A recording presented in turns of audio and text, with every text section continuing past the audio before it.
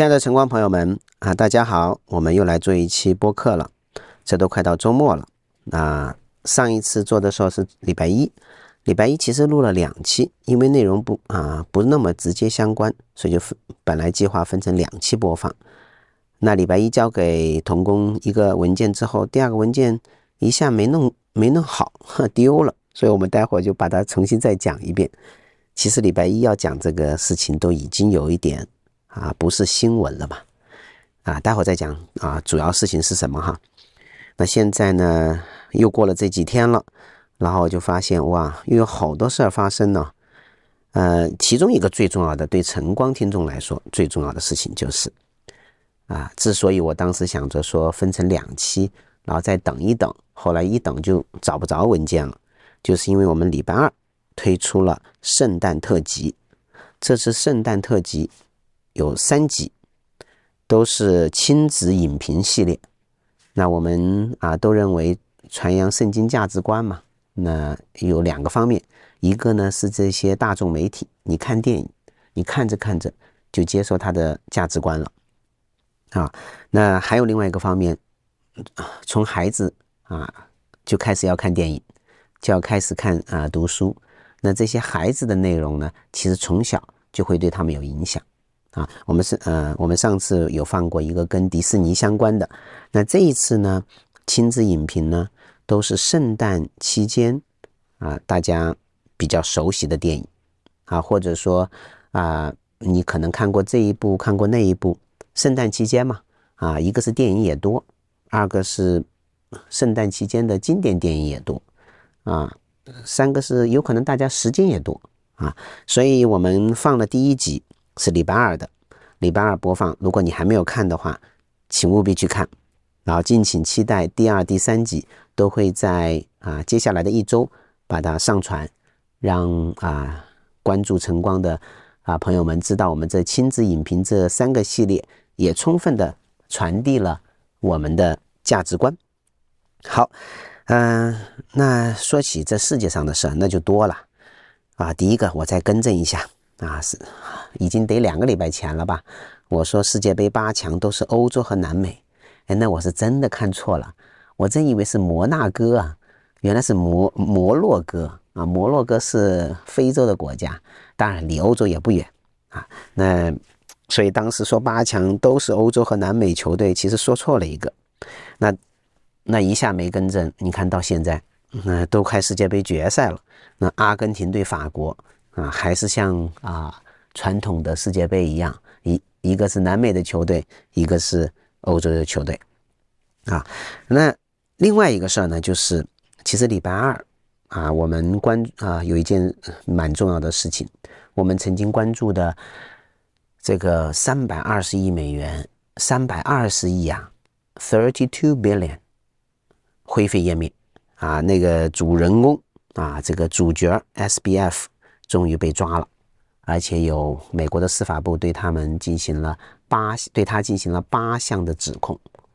那当然了，他本来是要去国会听证的。如果他去了国会听证，讲着讲着他也会被抓的啊。至于是不是啊是是什么样的啊罪名让他最后被定罪，这个咱们啊必须得要啊关注啊，必须得要等一段时间，因为这是美国的司法程序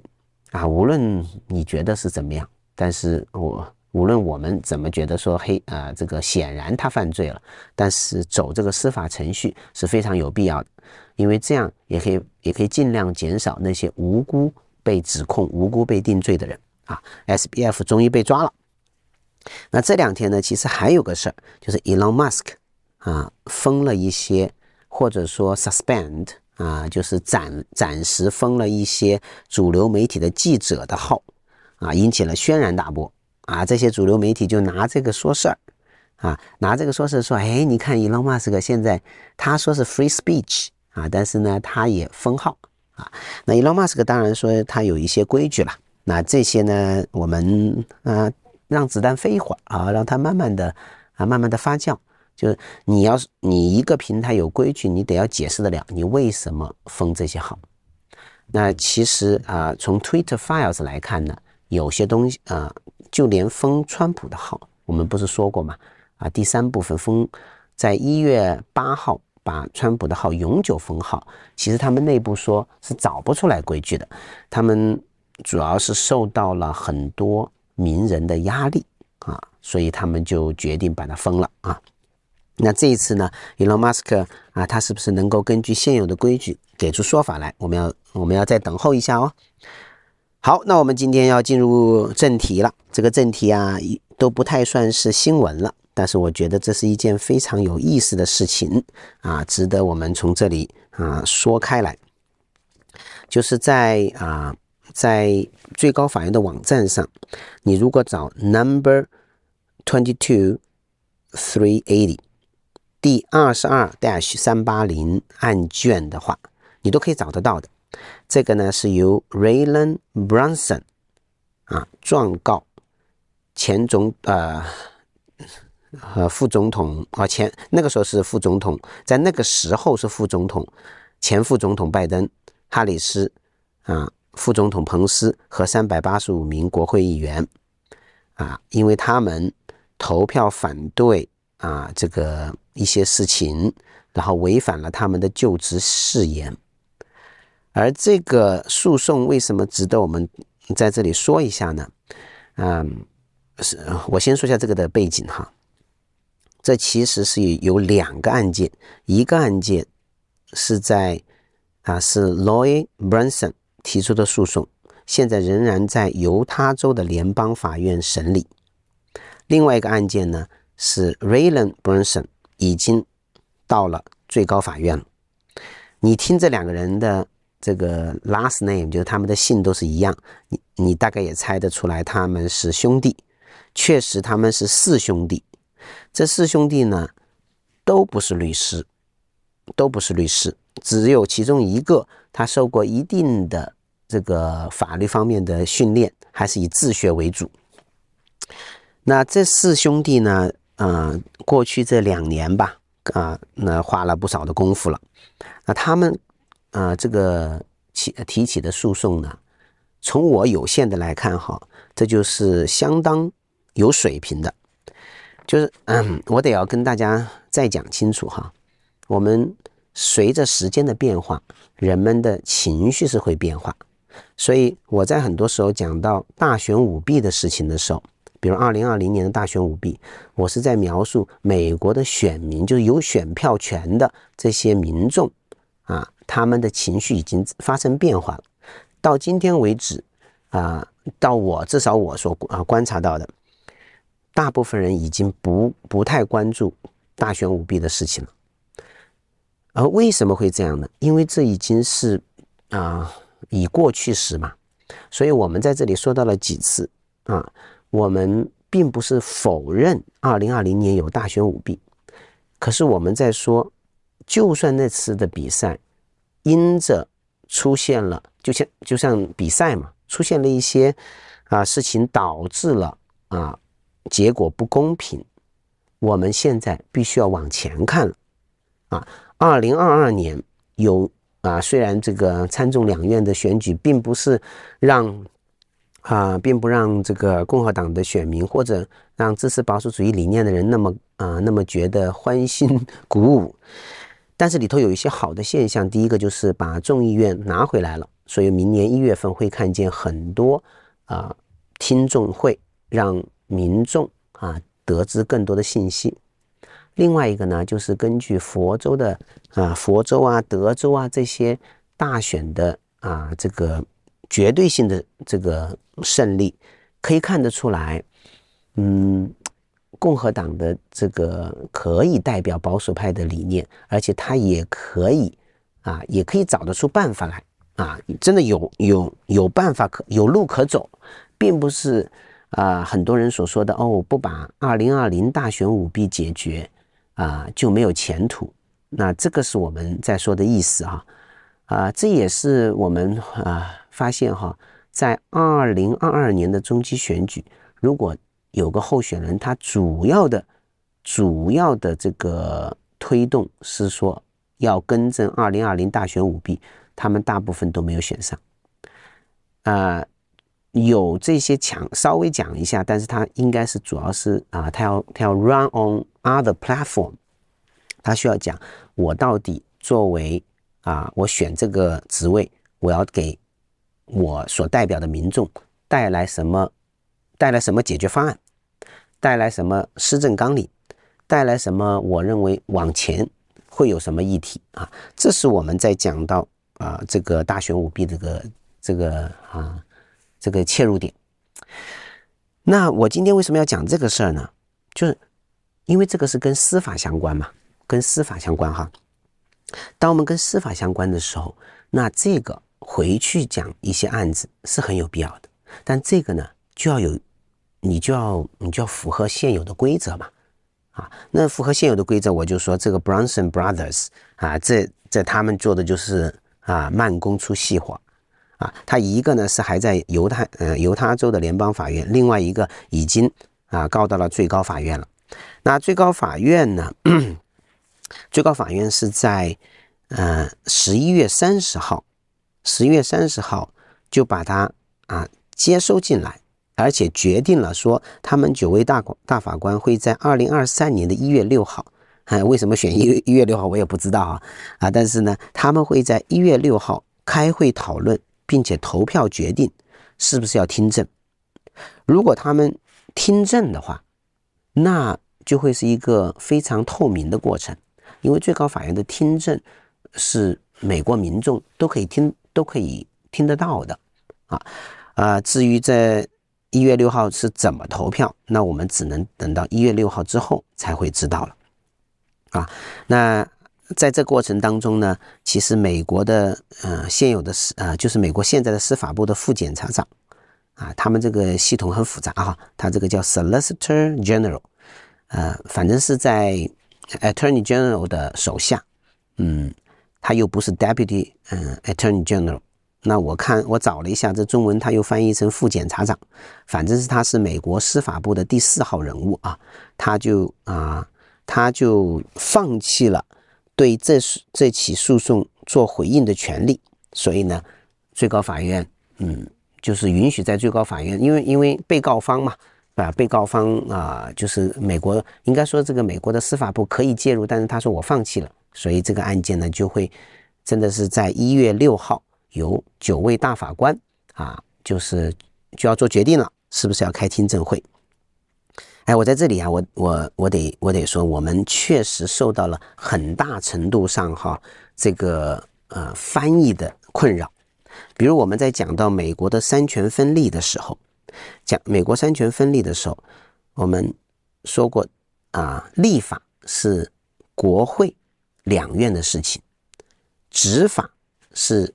美国总统带着他的内阁所做的事情，那司法呢？是美国的法院系统。那在美国的宪法的第一部分是讲到立法啊，因为立法的全都是人民代表。那这个人民代表是有参议院、有众议院啊，他他代表啊不同的人数。嗯，那这两院还要合作啊，然后他们才可以立得出符合宪法的法律。那执法呢？就是美国总统，其实他们的权力是有限的，他们只能在现有的啊法律的基础上才能执法嘛，啊才能执法，这是他们美国宪法的第二部分。美国宪法第三部分呢，就是司法是美国的法院系统。它美国宪法第三部分呢，它只讲了要成立最高法院 （Supreme Court），其他的法院呢，又都是美国国会授权成立。而美国国会授权成立的这些呢，到目前到今年二零二二年啊，仍然是九十四间 District Court，十三间 Court of Appeals，就九十四间联邦的地区法院，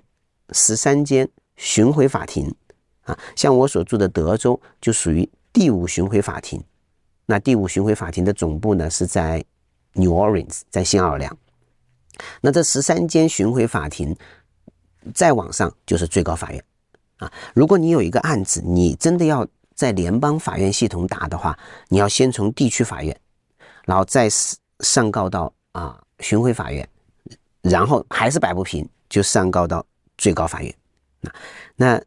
这个后面这些啊，巡回法庭呐，啊，这个地区法院呐，这些没有在宪法上写清，那它是跟什么是需要多少间呢？在哪里啊？这个都是国会要授权的啊。你随着人数增多嘛，他一开始哪需要这么多啊？巡回法庭这么多啊？这个地区法庭呢？啊，这都是联邦系统的，每个州都有它的，每个州有各有各它的系统。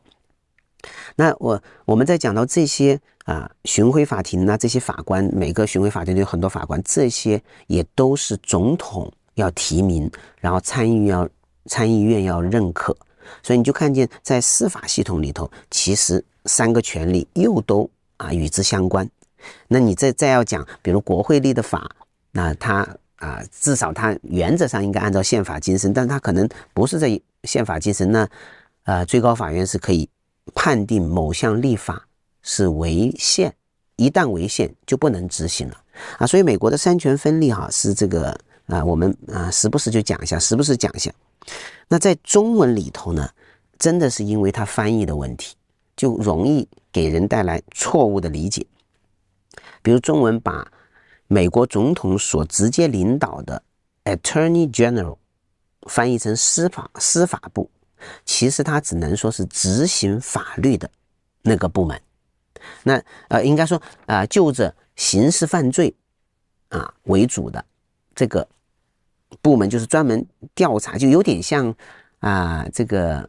警察部门。哎呀，但是你又不能用警察部，因为用警察部门你就想到啊，咱们中国大陆来的这个背景，就想到是公安部什么的，很难翻译。我可以理解。但是它一旦翻译成司法部，你就以为美国的司法部是三权分立的另一支。哎呀，这个错误错误翻译啊，这个害死人，害死人啊！那你要，嗯，我我想我们大部分晨光听众啊，呃，会英文，你就记得 Attorney General 是在执法这个部分，它跟司法系统没有关系啊。它它相当于是可以可以提起诉讼，最后判定的还得是法院系统啊。那我我上个礼拜六哈，哎，这这这再再往外扯远一点啊，就是翻译啊，那你别说翻译，还真能够带来很大的这个啊这个印误解以及印象。你看上个礼拜六我去这个本地这个 Origin 的 Orchestra，就是高中的呀，高中的，那那那当然是因为孩子在那里，我才会去听一下嘛。但是一听，哎呦，这首曲子熟悉啊。这个我，所以我就放在啊，今天放放放啊，待会曲子放开头啊，啊，放开头就是，哎呀，我伏尔塔瓦河嘛，伏尔塔瓦河那个是捷克作家啊，捷克作家斯梅塔纳所做的啊，他这个关于关于这个，嗯，整个整个曲子怎么样描绘出啊这个木啊。嗯，model，我们中文翻译成伏尔塔瓦河啊，但是这在英文世界里呢，你要你要用伏尔塔瓦河就搜不出来这个曲子，你就要用 model 啊，这个 model 又是德文啊，这个又牵扯到欧洲的历史了。但是那个河既可以叫伏尔塔瓦河，又可以叫 model 河，那这个曲子呢，就是 M O L D A U，你就可以查得到这个怎么样描绘这条河从上游到下游啊，如诗如画的景色啊，它这个。这个很美的这个曲子啊，我前面只能放那么一小段，一点点。你有兴趣，你用 model 或者伏尔塔瓦河，你很容易查得到这个曲子的。你很可能也都听过。那我在中国的时候，我听到这个曲子的时候，从来都是被告诉这个曲子是啊一套主曲，就是就是这只是其中一部分啊，六首曲子之一。那这个整个曲子叫什么呢？叫我的祖国。哇！我一想我的祖国啊，咱啊也听过《我的祖国》这首歌啊，然后就一下联系起来，一下联系起来以后，我的祖国，那你就想着这个就是意识形态呀，对吧？那个你你哪怕看到大好的河川啊，这个呃各样的美丽的景色，你也想到这是啊这是党啊国家的恩惠啊。但你你要是你要是看那个英文翻译哈，那捷克语咱不懂啊，marvelous，我也不懂啊。但是你要是看，哪怕是英文翻译，My Fatherland，你就你就比较能够体啊体会得到，其实这个斯梅塔纳当他写的时候，他是想到了捷克的悠久的历史啊，优呃美丽的美丽的景色，然后他把它。把他他把他的这个理解写进去，跟当时的政权他没有没有什么关系的呀。啊，哎呀，我这这虽然扯远了点，但是我就想用这个做个例子。我这我这之所以能讲，就是当时一看，哎呦，这什么曲子？我这我都挺熟的，怎么叫 model？哦，原来是德文，德文 model 啊，就是伏尔塔瓦河。然后再一查，哎呦，伏尔塔瓦河原来这个英文叫 My Fatherland。我这二三十年的印象，我的祖国嘛，那肯定是像我当时听的那《我的祖国》那首歌，这个感觉是一样的嘛。啊，合着人家斯美塔纳写的是，啊，写的是这个捷克或者说那那个波西米亚地区的啊历史啊，那个啊传传统啊啊，或者它的这个呃美丽的景色等等啊啊，回头来回头来，司法部这个翻译真是害死人啊！你哪怕直接翻译成公益部，哎，我刚才想翻译成公益部好了，这执法部门嘛，执法部门他按照法律起诉，他要保证。美国法律的实行啊，在有些层层面上，他要维护美国政府的法律啊法律利益呀。那美国的政府和公民一样啊，你都是会会被侵犯利益的。你要怎么样打官司啊？等等啊，这个是 Attorney General 啊。好，我这个好像是一个插曲哈。这个插曲回来以后呢，就是当犹他州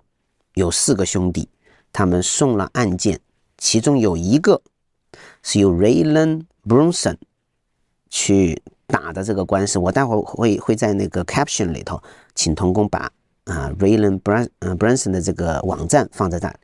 我也让他把 Supreme Court 的那个案件那个网站也放在这里，然后大家可以自己去看啊，你只要会会英文，自己都可以找得到的。他们预备这个案件就非常的精致，所以被。啊，这个最高法院至少立案了，立案呢，他们到时候会开会投票决定是不是要听证。一旦听证，听证完了以后，最后他们投票，投票决定了就是最后哇，最高法院这样这样一锤定音呐。这个在美国历史上有好多次了啊。那刚才为什么提到是呃，Attorney General 这个部门，就是目前中文翻译成司法部啊，就是你要翻译成公益部 whatever，那。他里头这个这个第四把手，Solicitor General，他就决定说，哎，这个事儿，反正你虽然你告的是美国的官员、政府官员，但我不管了，我就让最高法院去去判吧，我我我就不在这里头再再提供什么事情，然后耽误时间了，你你你爱弄弄去吧，你爱弄弄去吧，啊，那我们最后讲一下这个案件到底它是在啊关键点在什么？在关键关键点呢，他的这个诉讼如果最高法院听证了，然后最后判决 Raylan Brunson 赢了的话，这个会改变一个啊什么面貌呢？并不会就此判定呵大选无效，不会的，不会的啊。那啊，我一再告诉弟兄姊妹这个细节啊，和告诉听情况的朋友们，这个细节很重要，细节很重要，朋友们啊，细节很重要。就算这个案件一月六号啊被听了，啊被送到听证会，就算最后最高法院判 Raylan Brunson 赢，他也不会说明啊，也不会否定大选的结果啊。大选结果你喜欢也好，不喜欢也好，你就是流过泪也好，你就是得接受。那个比赛已经结束了，拜登已经做了两年多的总统了，你这个案件是为了。把当时的一些事情用美国现有的司法体系、现有的这个三权分立的体系，然后其中这个有关他裁、有关他这个啊裁判不对哈，就用这个比喻嘛，你最后只能通过联邦法院系统来解决。那这又是一个到目前为止相当成功的一个案例，就是他送到了最高法院，而且最高法院先接受下来。然后他们下一步决定是不是听证，这个是很有水平的事情呢。哎，我真的是佩服他们，佩服他们啊！他们一定耐得住寂寞啊，做很多细致的啊这个工作。但即便他们赢了，说明什么问题呢？说明就是从现在开始，很多递到联邦法院的这些这个案子啊，因为当时不是递了很多案子嘛，直接就被联邦法院呃，就是地区法院就把它把它就就直接毙掉了。啊，那很多就要改变这些的这个这个处理方式，那打开了就是会让将来有很多的啊举出具体的舞弊的这些事情呢，这些案件呢会更加容易的啊从联邦地区法院到巡回法院到最高法院啊，所以这是一个很漫长的过程。但是因为有四个兄弟，他们坚持做这个事情，现在已经开始有一点眉目了。啊啊！我盼望我们的晨光听众能够听得听得明白哈。有些事情你是需要根据现在选民的，就是现在这些呃嗯，接下来就是二零二四的总统大选嘛，这些选民的这个目前的这个大致的，因为民意调查你还真不能啊，真不能忽略掉的啊。那根据或者你平常时不时的听一下，时不时跟跟不同的人讲讲话啊，你应该会就随便聊聊天的时候，你也会大概了解一下嘛。哦，那这些呢是属于你选选选国会代表啊，选总统啊，那你选州长啊，这些呢，你你这样的比赛，你就必须往前走了，你只能往前推动了。我个人做这样的判断，到了二零二四年，不管是谁。不管是谁，他如果主要的议题还是二零二零年大选舞弊，一定选不上。哎呀，我这经常一定，我太太就要说了，你这预测了，对吧？我这这这，你这预测的一般都不准。哎呀，我这预测本来就不准。我们啊，我们不知道二零二四年会怎么样。但是我刚才说的那个意思吧，对吧？这个语言没有，就咱现在讲的是播客，又不是在做法律讲座，就是二零二四年。美国的民民情，根据目前我们所看到的，他主就不会主要关注二零二零年大选的舞弊是怎么样。那当时一定是看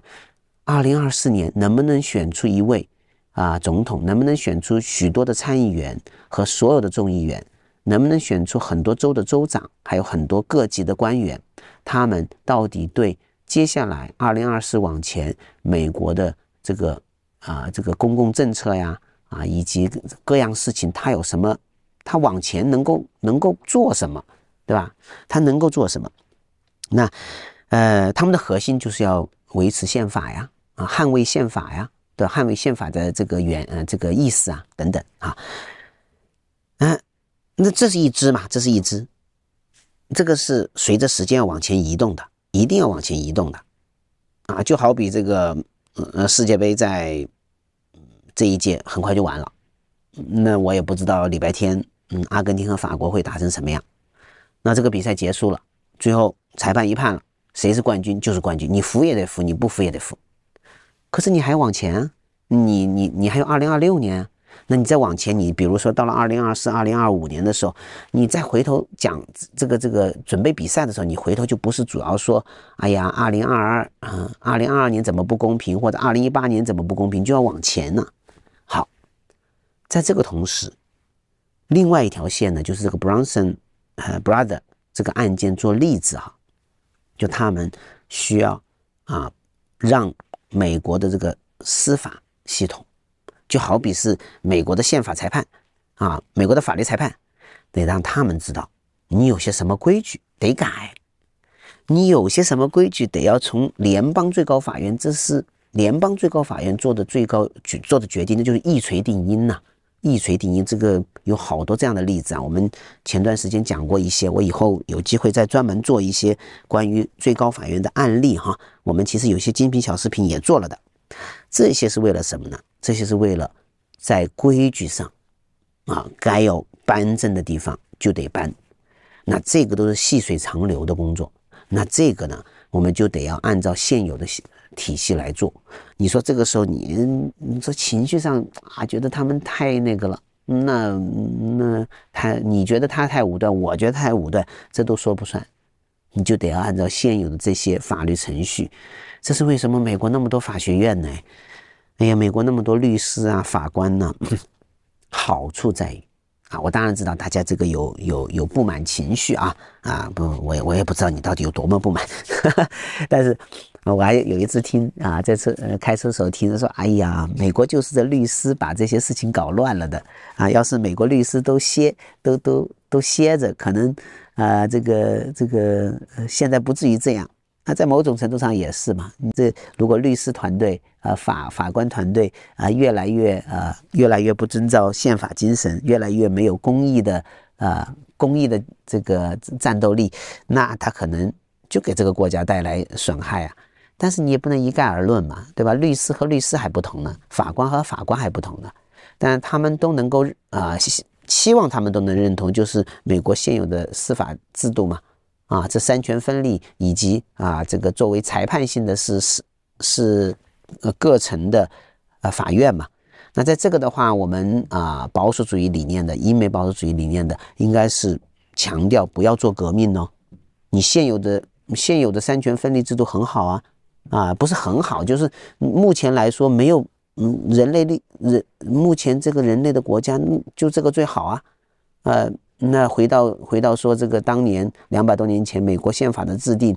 你不能说它是一个完美的，对吧？但是它确实确实是在人类宪法当中，那是一个划时代的呀，那真是一个划时代的，可以让美国这两百多年相对来说是啊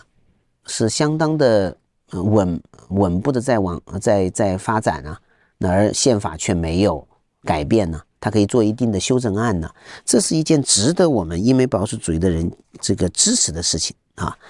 好，回头就结束在这里吧。就是这 Branson Brother 他们能够把一个案件告到最高法院，这是一件非常好的事情啊。那在一月六号，我们啊会看到一个决定啊。那这个决定如果是能够听证，那么就非常值得我们啊去关注。就这个听证啊，到时候这个案件会怎么判？啊，其实今年啊，二零二三年吧，不是今年，二零二三年的六月，还会像二零二二年六月一样，最高法院会判几个案件，会给美国带来很大的影响。好，那我们今天节目呢，啊，就做到这里。最后还是要请大家务必关注亲子影评啊，就圣诞特辑的第二集和第三集，我们会在接下来的一周之内把它放上去。也盼望我们的听众朋友在圣诞期间多看有意义、有又有趣又有意义的电影。我们下期再见。